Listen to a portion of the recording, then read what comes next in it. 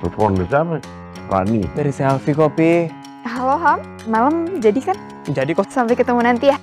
hmm, Eh, sama selfie kenapa pakai muah-muah segala? Sinopsis My Love My Enemy episode 14, Ilham menjalin hubungan dengan Rani dan Novi. Serial My Love My Enemy episode 14 kembali tayang di video.com dengan cerita keputusan Ilham yang membuat dirinya sendiri rumit.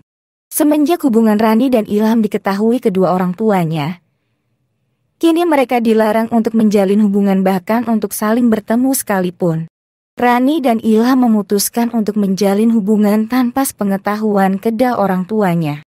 Pada awal adegan My Love My Enemy episode 14 memperlihatkan Ilham yang hendak pergi keluar rumah bersama orang tuanya. Ilham dan Rani saat itu sedang berkomunikasi dengan Rani melalui telepon. Saat papanya Ilham bertanya Ilham menjawab dan menunjukkan jika dirinya sedang bertelepon dengan Sylvie.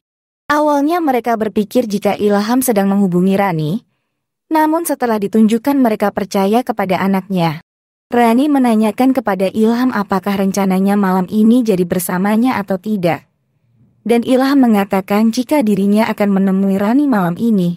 Semenjak kejadian di puncak, dan kehadiran Papa Novi menolong keluarga Ilham, hubungan Ilham dan Rani semakin rumit. Ilham mengalami dilema karena merasa mempunyai utang budi dengan keluarga Novi namun tidak ingin menyakiti perasaan Rani. Ilham memutuskan jika dirinya ingin bermain dua kaki.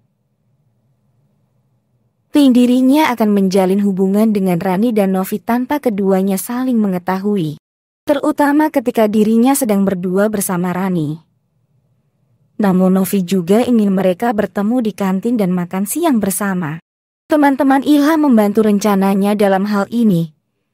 Mereka yang memberitahu Ilham jika ada sesuatu yang harus segera didahulukan.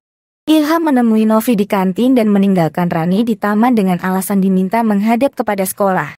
Saat dirinya melihat teman-teman Rani di kantin, Ilham langsung menggunakan topi agar tidak ada yang mengenalinya. Teman-teman Rani merasa penasaran dan ingin melihat dan menemuinya. Namun salah satu teman Ilham langsung meminta mereka pergi dari kantin. Sementara Rani sedang di taman menunggu kedatangan Ilham kembali. Namun saat Ilham kembali masih ada sisa sambal di bibirnya. Setelah pulang sekolah, Ranovi kini sedang berada di rumahnya masing-masing. Keduanya sedang berusaha menghubungi Ilham namun tidak ada jawaban. Namun saat Ilham membalas pesan dari Novi, dan ternyata dirinya tidak sengaja mengirimnya kepada Rani. Dulu deh. Maksudnya?